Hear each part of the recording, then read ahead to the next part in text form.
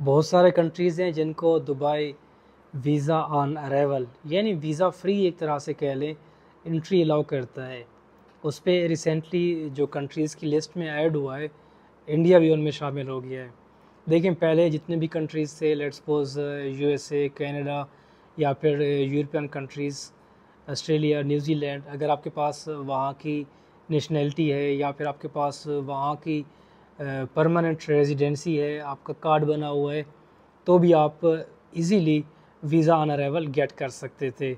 और अभी रिसेंटली जो इंडियन पासपोर्ट है, अगर आपके पास पासपोर्ट है, आप टिकट करें, सीधा आप एयरपोर्ट पे आ जाएँ, आपको एयरपोर्ट पे ही दुबई का जो विज़िट वीज़ा है, वो ग्रांट कर दिया जाता है। कोई ऐसी हार्ड एंड फास्ट रिक्वायरमेंट नहीं है, बस आपके पास एक तो proof of residence basic C requirements होती है, वो बंदे के पास हो। कि मैं यहाँ पे अगर आ रहा हूँ तो स्टे कहाँ पे करूँगा? और लिटिल बिट आपका ट्रैवल प्लान थोड़ा बहुत आपको आइडिया होना चाहिए।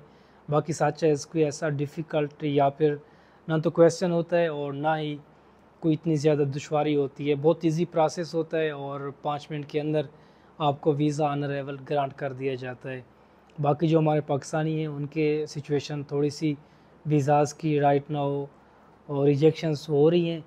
May be things will be better और एमनेस्टी के बाद जो भी इकतीस अक्टूबर को ख़त्म हो रही है, हो सकता है एमनेस्टी एक्सटेंड हो जाए, लेकिन I am not sure about this अगर एक्सटेंड होगी तो सोशल मीडिया पे या फिर जो गवर्नमेंट के पोर्टल्स हैं, वहाँ पे खुशखबरी सबको मिल जाएगी और हम भी आप लोगों को इन अपडेट करेंगे।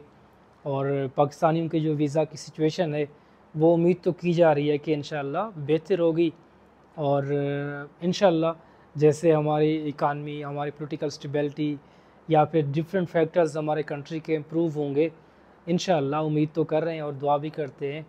तो इसी तरह फिर जो हमारे पासपोर्ट की रैंकिंग है या फिर जो वीज़ाज़ की राइट नाउ रिस्ट्रिक्शंस हैं रिस्ट्रिक्शंस भी इन कम होंगी और रैंकिंग भी हमारी बेहतर होगी। और फिर एक दिन हम लोग भी जो पाकिस्तान से स्पेशली बिलोंग करते हैं, वो भी different countries visa on arrival या फिर वीज़ा फ्री ट्रैवल करेंगे। इन वीडियो देखने के लिए शुक्रिया आप सबसे नेक्स्ट वीडियो में फिर मुलाकात होगी। अपना ख्याल रखिएगा। अल्लाह हाफिज़।